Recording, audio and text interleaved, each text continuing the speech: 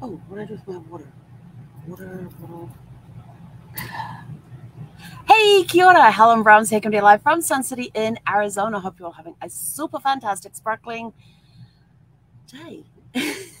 it's the weekend. Yay. Um, what fun are you having today? Yesterday we talked about a lot of different fun ideas on things to do. Um, one of the things we talked about was travel. Just just a little bit in there about travel. So tonight I figured why not talk about places that we want to go, traveling near and far. Um, we're traveling far and wide. So we're going to skip the US destinations for now and start looking at different destinations, some of the top destinations around the world that people are wanting to wanting to travel to. Um, some still have some strict strict restrictions in place. Others are open and accepting visitors. Some will accept visitors, um, but you know, put it this way: just talk to a travel professional about where you want to go, and they will let you know what um, travel requirements you need as far as um, what precautions they have in place for COVID and you know vaccinations, that sort of thing. Um, what tests you require before you board a plane, before you board a cruise ship, all of that sort of stuff. Talk with your travel professional because based on where you're going, there are some different requirements. Let's just put it that way. But first things first is make sure your passport is up to date. And if your passport is going to expire the, within the next 12 months, I would seriously consider getting it renewed now. I don't know what the wait time is, um, but I know that there was back um, backlogs for a while there. I don't know if backlogs are still in place, um, but the sooner you get them renewed, the better for when you want to travel. Um, so let's start talking destinations. Oh, so many. And I've been watching friends on Facebook as they're all going to all these beautiful places. Some are on cruise ships, some are on land, and they're all travel professionals currently traveling right now. Um, and I'm just like adding stuff to my list. I have a very long list of places I want to go to, and I'm sl- and yes, these places are all going to be part of um, some of our before the dirt nap adventures. You know, what you know, I'm going to go places that other people want to go, but I also want to cross off my list as well. Um, so some of the places will be things that I want to do and see as well. Um, and I'm just going to take some friends with me. It's sort of like, you know, we'll go traveling together. Do you want to go as well? Let's travel together. It's as simple as that. So, what type of things we're going to be looking at? So, let's talk about some of the places. What are some of the places you want to go? What are some of the things you want to experience that you can only do if you go to a certain destination? Um, one of the things that is, um, and I'm just going to go through some of the stuff on my travel list, and some of it may resonate with you, some of it may not. Um, let's see, where do I even start? That's the next question is where do I even start? Um, suddenly it's got very warm in this corner here. I have like no air circulation in this area unless this AC unit right here is on, and then I get a nice cool breeze. I think it's switched over, and you don't get two breeze. You don't get the two ACs working together with the compressor on. They alternate which AC, and I think the front one's got it on right now because it suddenly got very warm right here. Um, so where do we even start? Well, first of all, when you're looking up things that you want to just go through travel magazines. Start with travel. Oh, I should have put my travel magazines in. Start with travel magazines. Start looking through those um, and getting ideas of places you want to go. You know, it could be things that you've heard people have come back from vacations um, and you've said, oh, that'd be a really cool place to go. One of the top ones on my list is the Galapagos. Um, it's a place I've wanted to go to for years. We were heading there in 2020 towards the end of towards the end of the year and of course, the global pause happened, so we didn't get to go. But that's still one of the things at the top of my list. And that will probably be the only one we're going to repeat the itinerary on, only because we never got the itinerary done. So um, we're going to be looking around and um, talking with the vendor again to see if they're still going to that area, if we're still able to do the um, the trip that we were looking to do, to see if we're able to complete to start and complete that travel trip to the Galapagos. But it included um, seven nights in Ecuador before we flew to the Galapagos, and then it was um, seven nights in Peru afterwards, including two nights up at, Ma- at Machu Picchu. So that one, depending, and we're going to talk to the vendors again and see if we're able to do that one. It may not be the exact plan we had last time, but hopefully something similar to it. Um, but yes, we're going to be contacting vendors and start looking at what's possible right now that we can do, things we can start putting together. But the Galapagos will definitely be one that is on our list to do. Um, so keep your eyes and ears open for that one. Um, let's see what else have we got on there. Um, safari in Africa. um, I've got a travel professional who um, who's an expert on safaris in Africa. So I'm going to be talking with her and seeing what we can come up, what ideas we can come up with for doing um, a safari in Africa. But we're going to make it a little bit different. I mean, there's so much. Africa is such a huge continent, and there is so much different stuff that we can do in Africa as far as safaris go, based on the time of the year, what animals are where, you know, seeing migrations and that sort of stuff. Um, and different other activities that we're going to build in there, like maybe a visit to the Victoria Falls. Um, if we're down near South Africa, we'll go um, that one, um, do safari down there. Um, it could be going to Rwanda and visiting the gorillas. It could be, um, oh, I'm trying to think, I think it's Nairobi, where they have the giraffe mansion and having breakfast with giraffes. Um, you know, just just really cool stuff like that that's going to be included in some of the itineraries that we do, based on how much time we're going to be gone and what we want to see and do when we're there. Um, then there could be even, let's see, what else have we got on that list? I should have pulled up my mind map of this one. there will definitely be trips to New Zealand and Australia and the South Pacific. Um, how can I not do trips down there? Um, and you know, we're going to take you some amazing places within New Zealand that not a lot of travelers know, not a lot of tourists know about, or that very rarely see tourists. Um, when in the place, some of the places we're going to take you, it is more likely to have travelers go there because the travelers know about it and the tourists don't. And what's the difference between a traveler and a tourist? A tourist is somebody who just goes to see the sights. You know, they that's all they're there for. You know, they go to Rome, they want to see the Colosseum, they want to see Vatican City, they want to see, um, you know, all the um, all the regular touristy stuff there. They go to Greece, they want to see um, all the stuff that's there as well, all the ruins and everything else. They want to go to Egypt and see just the pyramids. There is so much more to these to these countries than just you know they want to go to Florence and or um, Pisa and see the Leaning Tower, and that's that's all they want to do. They don't want to get off the beaten path. They want to stay on. They're the people that stay on the beaten path and do the touristy stuff, um, and they stick out like a mile away. You can you can spot a tourist a mile away. A traveler is somebody who goes to experience the culture. They want to immerse themselves in the culture. They want to spend a little, rather than doing 27 countries in two and you know seven days type of thing through Europe.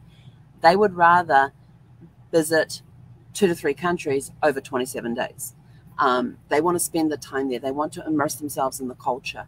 They want to get off the beaten path. They want to go to the the play, the restaurants that the locals go to, not the ones that the tourists go to. They want to see the um, the stuff that the tourists don't know about. It's almost like a behind the scenes look at a country. Um, if you think about a play, the tourists come to see the play on stage. A traveler, yes, they will see the play on stage, but they want to go wandering behind the scenes and see everything um, beyond the curtains at the back of the stage. They want that backstage pass. And that's what a traveler is. A traveler is somebody who, yes, they will watch the play, but they've got their backstage pass in their hands and they're going to make the most of it and go and talk with the actors and the actresses and, and the production crew and everybody else. They want to get back there and immerse themselves in the culture behind the scenes. And that's basically what a traveler does in a country. Yes, they will go see some of the some of the sites and everything else, but they really want to get off the beaten path and um, and just go meet the locals and talk with the locals if they can. Um, one of our trips that we did to, um, we did a river cruise back in 2011, and we spent three nights in Prague. Um, and then we were taken by bus down to Nuremberg, where we got on the riverboat and sailed down the river um, to um, Budapest. And the three night, the three nights, sorry, the two nights we had in Prague. It was two nights, not three. I tell you, Prague is a fascinating city. It's awesome. Um, and what we did, and what we didn't realize at the time, was how close a Christmas market was to, or what happened at a Christmas market at night. But we learned this lesson, and we were there in December, so we were there to see the Christmas markets, which were absolutely amazing, especially when you got away um, from the booths that were sort of like the, um, the obviously manufactured one, not the little mum and pop hand, handcraft type booths. Those were the best ones. Um, but we got to see, and we made this mistake on the night that we um, we had done a walking tour around Prague that day, and then in the evening, some went off to do. Um, there was a couple of optional activities you could have gone and done, and Brad and I chose not to do those. So we made the mistake of having dinner at the hotel, and then wandering down to the Christmas markets. And afterwards, we were like, "Well, that's a big mistake." We should have skipped because the Christmas markets were only a city block away. Um, and it was a long block, but this, and we were at the, Intercontinental? The Intercontinental Hotel, and we walked down the street, which would have been Prague's equivalent to Rodeo Drive. It's the only thing we could think of it because it was all these designers, high end designer stores. And um, it was actually kind of cool walking down there, and they had the, the trees all lit up lining the street. And you emptied into this big square, and there was this cathedral around the corner. And the cathedral is the astronomical um, astrology, um, yeah, astronomical clock, astrology clock.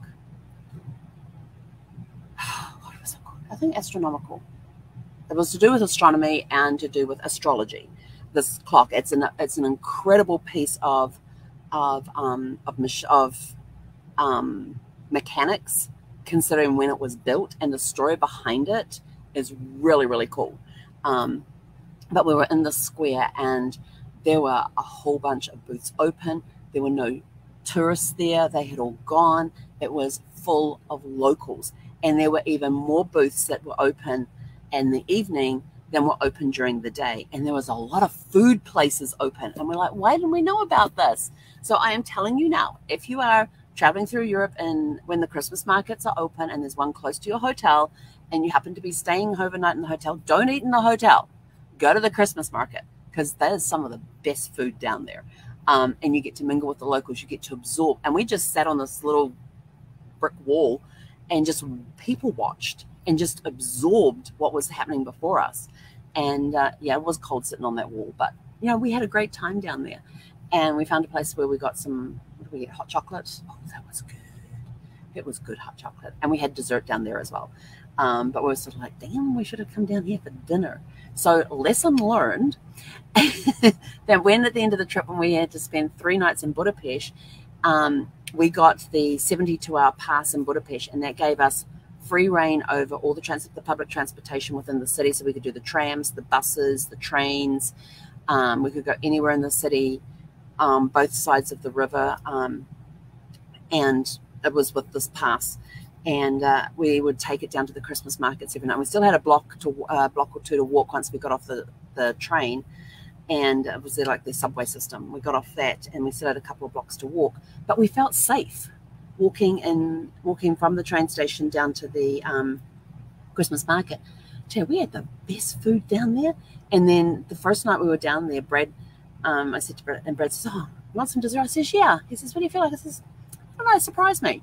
And he came back and um, he came back with two different desserts. And the one he gave me and he knows how much I, i'm not a big white chocolate fan. To me white chocolate is not chocolate because it doesn't have cacao in it. Um, and that's what gives it the chocolate flavor. And but anyway he put in front of me a white chocolate apple strudel. I will tell you here and now, that is the best. To this day, it is still the best apple strudel I have ever had. I can still taste it on my tongue, and that would, and I can still taste it in my mouth. I can still smell it, um, and that was back in December of 2011. Um, we're here in 2022, you know, almost 11 years later, and I can still taste this apple strudel, and I can still smell it. And um, I said, "Where'd you get this from?" He says, "Oh, from that little cart over there." I says, "Okay." I had it for the next two nights. it was so I wasn't even trying anything else on the menu. He said, I just went down the menu until I saw something that had chocolate in it. That's what he did. He stood there at the and that was written in, in Hungarian as well as in English. And he went down until he until he found one that had chocolate in it, and it happened to be a white chocolate apple strudel. It was the best. And he goes, "Can I have a taste?" I went, "Nope, you get your own." I would not even share it with him. It was that good. Um, but we had a blast there, and we went down to the market, which is in this humongous warehouse, and it's all fresh produce, fresh meats, fresh bakery, all these herbs and spices. And then they had um, a floor, an open floor up above where all the artisans were up there with their goods, you know, the handmade, the hand embroidered tablecloths and um, they'd also um, crocheted like doilies and things like that. And there were these um, beautiful wooden dolls that had been made and um, hand bound journals. I love hand. Uh, you know, and, and the people were sitting there in their booths in this market making whatever it was they were selling. So you could actually talk to the person who was making the goods. Um, it was a cool place up there. And we got to the bakery and uh, they had these things. I would have called them custard squares because um, in New Zealand you put this pastry down, then you put this thick custard on top, and it's got to be thick because it's got to be gelatinous. Then you put another layer of pastry on top, and then you ice it with vanilla icing or chocolate icing, and um, you cut them into squares. And these are these custard squares, and they had something that looked similar to that. And I kid you not, these things were like about this tall, and it was about about this long and about this wide. And it was made with puff pastry as well. So I got one of those. Brad found something else, and those we did share. And uh, we found a table to sit down and eat one time. And that basically, I mean, those things were so filling that that was our breakfast for the morning. we had dessert for breakfast. you do things like that when you're on vacation. But um, that was in Budapest, and Budapest was an amazing city. Their architect and their architecture was just gorgeous. And I remember coming in um, as we're coming into Budapest um, it's very, it was all clouded and misted over, and there was this beautiful castle that kept appearing. And it was we're coming. Um, I don't even know what direction we're heading, but we're heading down this part of the river. And over on this side, there was this gorgeous palace that kept appearing and disappearing with the clouds as your as the morning fog was playing. It was playing with us. It was giving us little glimpses of what Budapest looked like. And um, it turned out it wasn't a palace, it was actually their parliamentary buildings. So if you've ever been to Budapest or seen pictures of their parliamentary buildings, you know what I'm talking about. Uh, it was a gorgeous, gorgeous building. Um, but the palace was actually up on the hills over on this side, closest to us. Um, but it was just a beautiful city to come in, and there was this misty thing. And then that evening, we actually overnighted in Budapest and we disembarked the next day. And so that evening, um, we did a night cruise up and down the river. Um, so you got to see Budapest at night, and it was just be- it was beautiful. Um, we had a lot of fun there. Um, we got to spend three days there afterwards because we arrived on a Friday, and we had blackout dates on our airline miles, so we couldn't fly Friday, Saturday, or Sunday. But Monday was the first flight we could get out, and so like three days in Budapest, yeah. And so um, Brad had a whole bunch of Marriott reward points, and so we used those to pay for our hotel in Budapest, and it was a courtyard, and it was it was really funny. We get to the room, and I'm like looking out the window, and I go, "Oh." He goes, "What?" And I said, "Look, what's across the road?" And there was a McDonald's right across the road. we just started laughing. We are like, "We ain't going there," and um, but we were right there. Um, the um, we were on the corner, and then looking at the street that went straight ahead from our room, um, where the McDonald's was on the corner.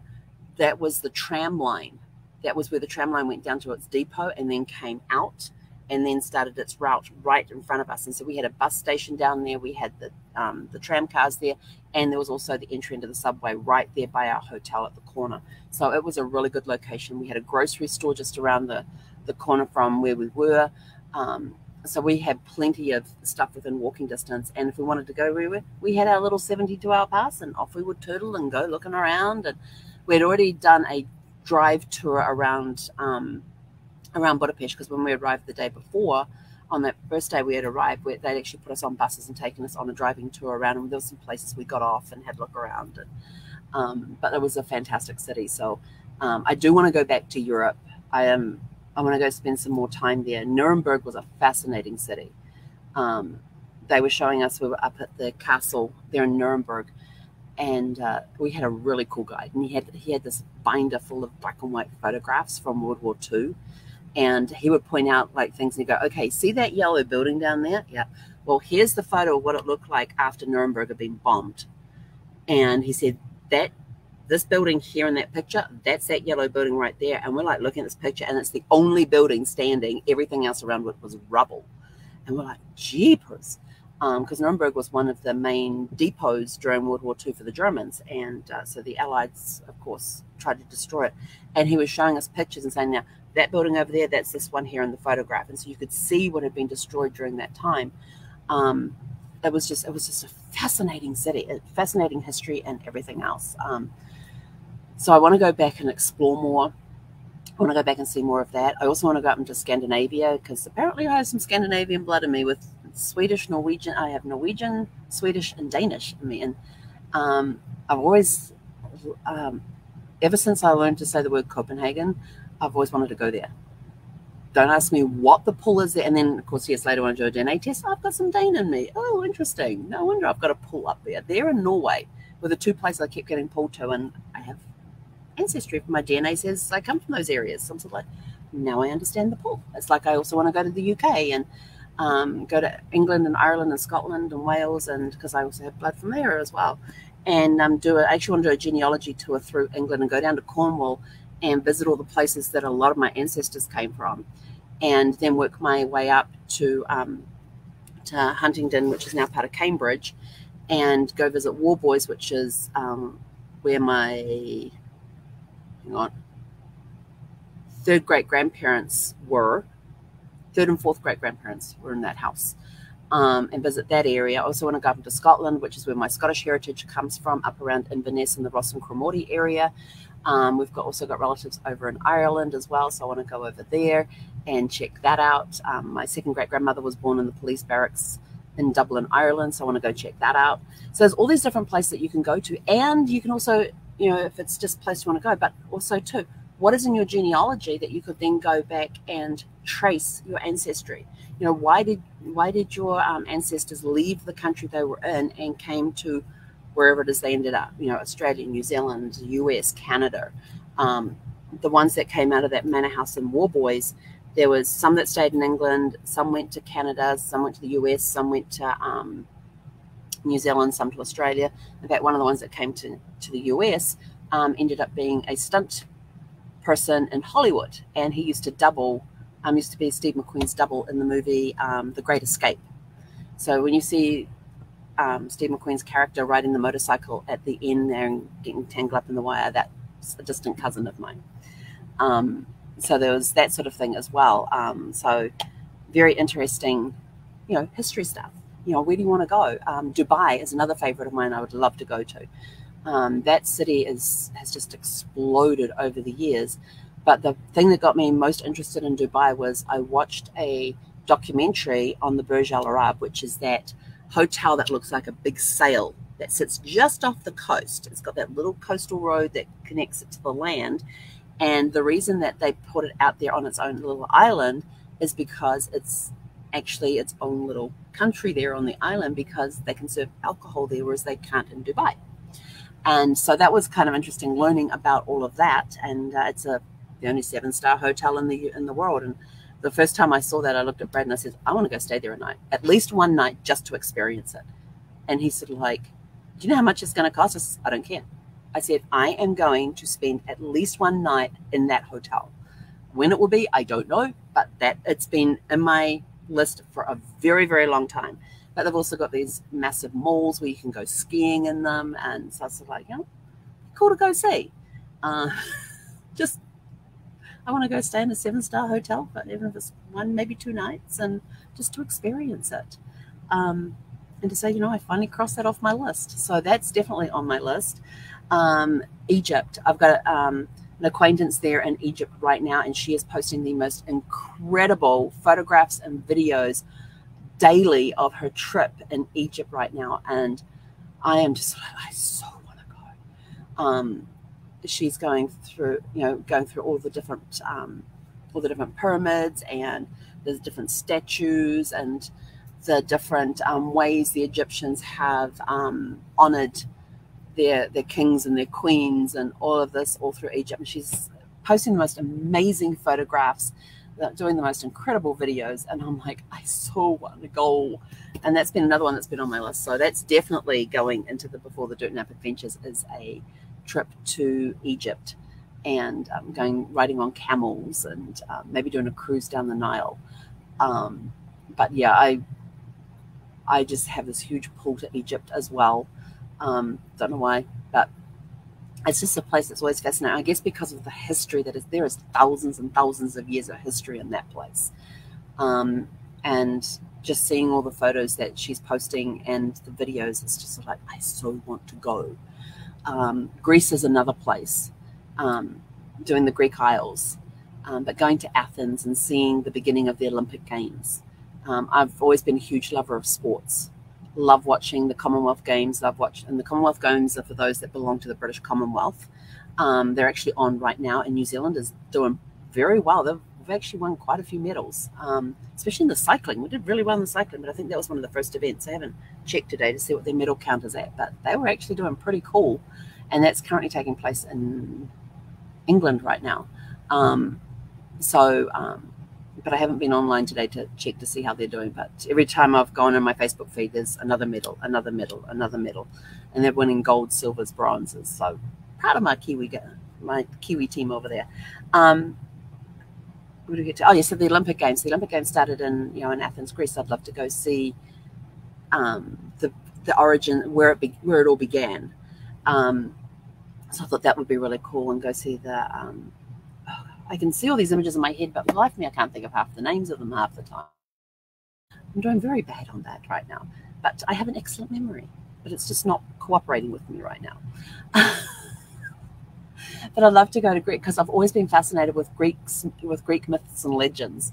And so I'd love to go to the places where these myths and legends take place and hear the stories behind how they became myths and legends. Because um, sometimes, um, what is it that Mark Twain says that truth is stranger than fiction. That's why fiction is something like that. Truth, it's it's no wonder that. Hang on. He's Mark Twain once said, "It's no wonder that truth is stranger than fiction. Fiction has to make sense." And so a lot of times that's how the myths and legends get started is because the truth was just too strange. So they had to come up with a way of telling the story that people would believe. Um, and that's where myths and legends come from. Um, and they get passed down through time and they get altered through time as you know from one storyteller to another to another remember playing that game when you were a kid with where you somebody would whisper something in one ear and you'd have to turn around and whisper it to the person next to you and then the message would go around the circle and by the time it got back to the beginning it was nothing like what it had started with as people had changed one word or two from what they heard to what came out of their mouth next. There was a change that had taken place in that.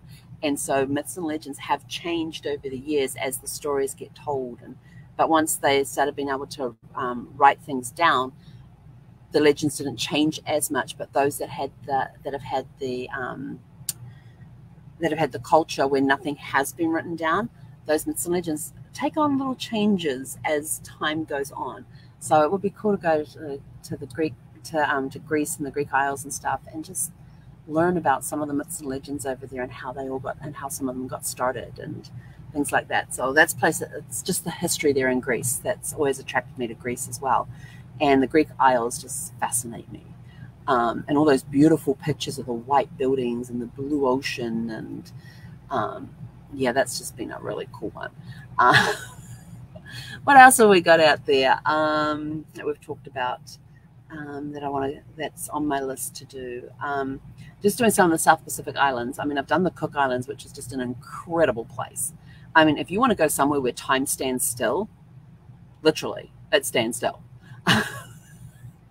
we flew in. We left LA. We got on the plane. We did our ten-hour flight down to um, down to the down to Rarotonga. We got off the plane.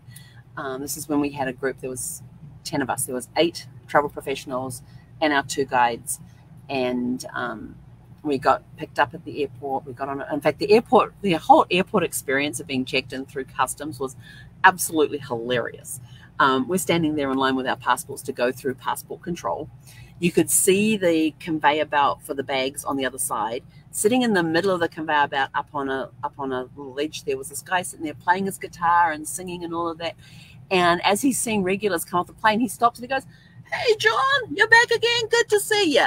he's just calling out to pe- the regular people that come to Rarotonga a lot, and that he's gotten to know over the years. And it seems like everybody who's on the islands know who knows this guy, and he seems to know everybody, all the regulars, and and the locals as well. And so we got uh, got our bags and our um, customs were these two people standing either side of the door. You just hand them the forms and walk on through. And our bus was there. It took us to the hotel. We had um, like two hours just to rest, relax, get changed. Um, after our flight, and I was keyed up. I was like, let's get going. And then we went and we did this, um, went site visiting to different hotels on the island. Um, and we went to one where they gave us lunch. Then we went and saw another like two or three. Then we went to an, another one in the evening where they gave us dinner. We're actually sitting there on the beach, sand in our toes, our sand in our toes, our, our toes in the sand. The chairs, the tables were all sitting on sand on the beach, and the most incredible sunset taking place right outside that we could see. Um, the food was amazing. Um, and then they then they had hokey pokey ice cream. Oh, I was in heaven. as soon as I heard that hokey pokey ice cream, I says, I'll, I'll, I'll, I'll take some of that. And uh, I'm like, what's hokey pokey ice cream? I says, nothing you've ever had before. And it's just, it's this toffee. Hokey pokey is like this toffee that's aerated, an aerated toffee. I don't know how to describe it, but it's just sugar and golden syrup melted, mixed together. You throw in a thing of baking soda at the end and you whip it really fast because it froths. And then you have to get it poured into pans really, really quick because it sets really, really fast. Um, ask me how I know. Um, yes, I've made it a few times over the years. and we put them in Crunchie bars, which is just taking log size of these things and coating them in chocolate. And then if you get the really good hokey pokey ice cream, there's actually chunks of hokey pokey in the ice cream. Although it seems most of the ones I've had these days just got ribbons of it through. And I'm like, where's the crunch? There's no crunch anymore. I like the crunch.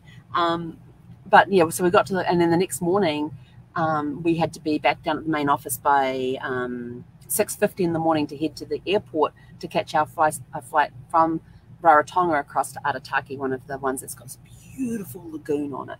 And if you have ever seen Survivor Cook Islands, Aitutaki Lagoon is where everything was filmed. It was all filmed there. If you've ever seen the Sports Illustrated um, swimsuit edition with on the beaches and stuff. That's all done around the lagoon on Aitutaki. It's just incredible. It is there's such blue, blue water, and we're flying across this thing, and you can see you can see down into the bottom of the lagoon and oh the water was so clear it was just gorgeous and we had and we got on and we were taken over to this hotel where we had they gave us breakfast and then we got taken on a walking tour and then we were taken down to the pier there and we hopped on Te Vaka and Te is a um, polynesian catamaran and uh, we had such a blast. And we got there and there's a table there for us and we each had a fresh coconut there with a straw sticking out of it. Um, so we had you know fresh coconut water straight out of the coconut. Um, and we had Katu was our guide for the day, and uh, he comes over and, and he knew that we were the travel agents, the travel agent table, and he goes, "Oh, when did you guys arrive?" And we and we just like looked at him blankly and went, "When did when was it? Yes, when did we arrive? Was it yesterday or the day before?" we had the time had literally stood still, and we felt like we we had been there more than 24 hours and we're just like, was it yesterday we arrived? Because we had already done so much. And we actually went to one hotel, which wasn't even on our list, but they'd heard that we were in town, so called and said, Can you stop by on your way to the airport? And this is as we're getting ready to leave Rarotonga to fly to New Zealand. And so we stopped at this place and we are in their bar area. And the clock had no hands on it. All the numbers are laying at the bottom of the clock, along with the hands. It was, and it just had Cook Island time written on it. It was perfect. I have a picture of it somewhere. But you know, there's there's islands out there that I haven't been to yet, like Samoa and Norfolk Island and Niue and um, um, Tahiti and Bora Bora um, and some of the other Society Islands. You know, it's just you got Tahiti and the Society Islands, of which Bora Bora is one of them. Um, and uh, Samoa, Western Samoa, American Samoa, Fiji. Fiji's another place I want to go to. So there's all these different places that are just incredible. And it just depends on the experience that you want. Um, people going down to New Zealand and Australia, it's always do Australia first, then New Zealand. And if you want to put on one of the Pacific Islands, like the Cook Islands, you do that last on your way home. Um, and there's a whole bunch of reasoning behind that, but we'll talk about that another day as to why you do it in that order. Um, and uh, but it's just been it's you know I mean there's so many incredible places around the world to go visit. Um, Asia is another area I want to go. Thousands and thousands of years of history there. Um, you know, you got China and Japan and Vietnam, Cambodia with incredible, incredible history and culture. And I just want to go experience it all. Um, tell me a place in the world and I'll probably want to go. My list is long and extensive. So where are some of the, so take out, you know, take out a piece of paper and either mind map it or list it as to some of the places that you want to go. Where do you want to go in the world? Um, what are some of the things that you want to experience? Um, you know, there's certain places like I want to go to Jamaica and I want to visit Goldeneye. Goldeneye is the name of the house, uh, Ian Fleming's house there, where he actually sat and did some of his writing. Um, there's a pub in um, in England near um, is it near near one of the spy play spy headquarter places um, where he actually started writing about James Bond. But Goldeneye was his retreat where he would go and he did a lot of writing down there. So I'd love to go and visit Goldeneye because I'm a huge James Bond fan. Come on.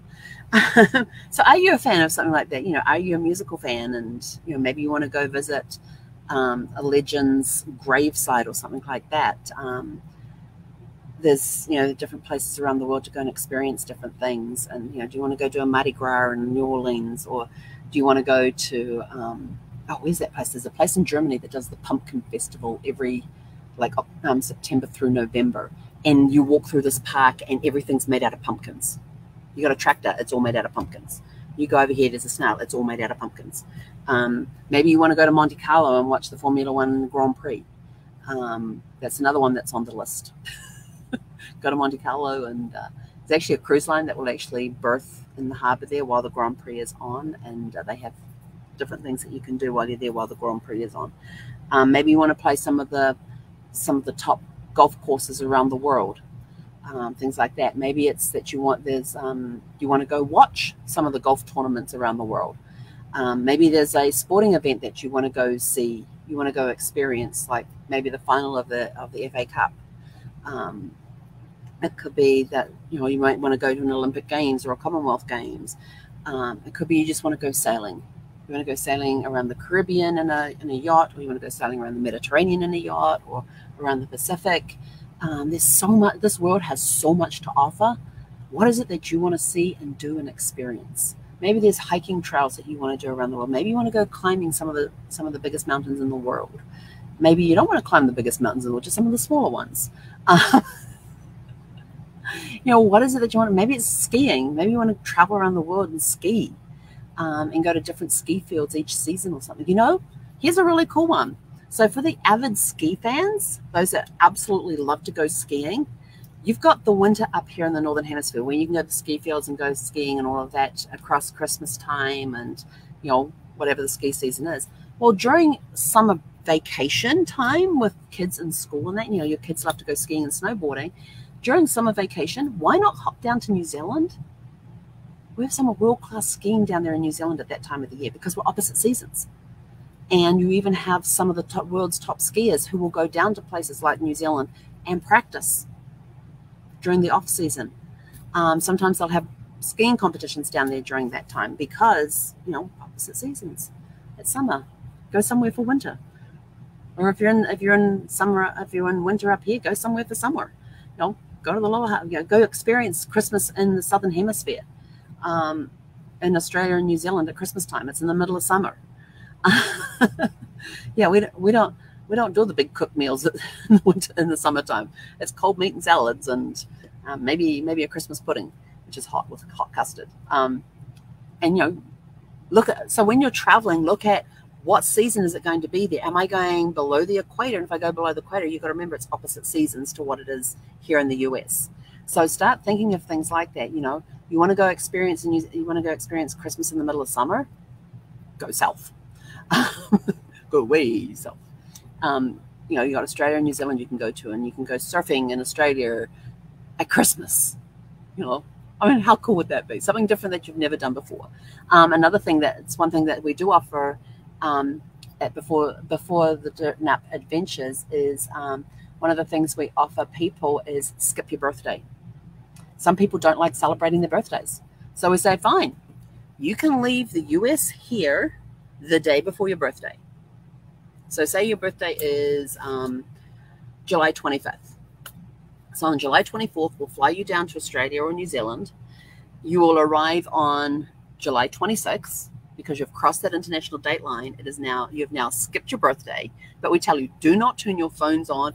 Do not get online because everybody will still be wishing you happy birthday because it's your birthday back in the States, but you've missed it because you're now somewhere and you've completely skipped that date. Um, then there we have the reverse where you can celebrate your birthday in four hemispheres and two countries on the same day.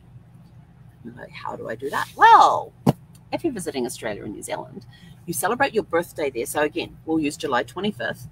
And you on July 25th, you celebrate your birthday in Australia or New Zealand. You hop on a plane that evening. You fly back to the States. When you land back in either San Francisco or LA, it's still your birthday.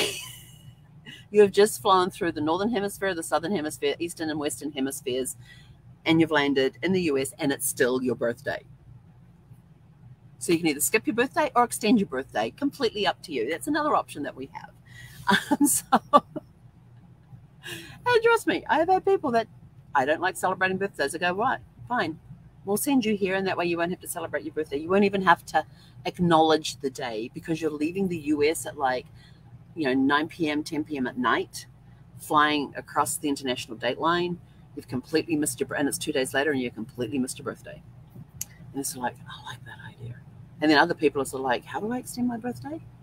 Well, let me show you this way. But anyway, I am way out of time. Get me talking about topics that I love, and I can go on forever. And I know there's a whole bunch of other countries and experiences that we haven't even covered. Haven't even covered what's down in South America yet, or Antarctica, um, and that sort of stuff too. So there's a whole slew of things that um, that you can do. Or Russia, we haven't even talked about um, the Eastern um, Eastern Europe, um, you know there's a there's a whole world out there of different things that you can experience. So what are some of the things you want to experience? What are some festivals you've heard of? What are some sporting events you want to go visit and see? Um, you know start thinking about you know well i like watching golf. Well, i'd like to go see the masters one time. Well how do we do that? Well let's get you down there. Or i want to go and see the um, um, the stanley cup final. I don't care who's playing. I just want to go experience it. We can make that happen so start thinking of things like that that you want to do, things that you want to see and do, and let's make it happen. Go out, have a super fantastic, sparkling rest of your day, and we will catch you guys back here tomorrow at 6 p.m. Pacific.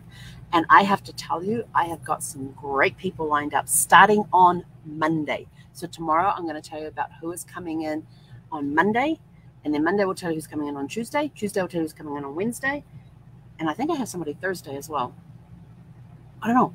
But I've got people lined up who want to book in time to come in and chat with you all about living your best life now and how you can do that before the dirt nap. Hey, Conora. You ready for your